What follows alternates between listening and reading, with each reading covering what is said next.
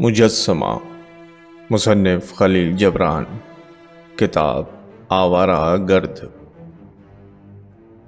एक मर्तबा का ज़िक्र है कि पहाड़ियों के दामन में एक शख्स रहता था, जिसके पास एक मुजस्मा था, जिसे कदीम माहिर मुजस्मा साज ने तख्लीक किया था। ये मुजस्समा उस शख्स के घर के दरवाजे के पास औंधे मुँह पड़ा रहता था। और उस शख्स को इस मुजस्समे की कोई परवाह न थी।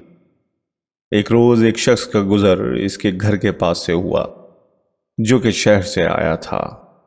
उसने मुजस्समे को देखा और उसके मालिक से दरियाफ्त किया कि क्या वो इस मुजस्समे को बेचना पसंद करेगा। मुजस्समे का मालिक हंसने लगा और कहने लगा कि, कोई पागल ही इस गंदे और बेढंगे पत्थर को खरीदेगा। शहर से आए हुए शख्स ने कहा, मैं तुम्हें इस मुजस्मे के एवज चांदी का एक सिक्का पेश कर सकता हूँ।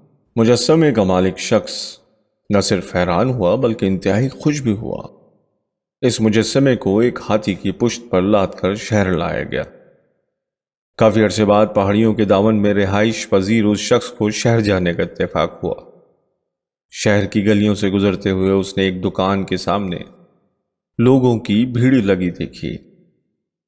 और एक शख्स बावाज बुलंद ये कह रहा था कि, आओ, इधर आओ और दुनिया के खूबसूरत तरीन और हैरान कन मुजस्मे का नज़ारा करो।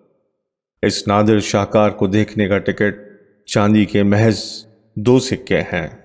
ये शाहकार एक अजीम फनकार की तख्लीक है।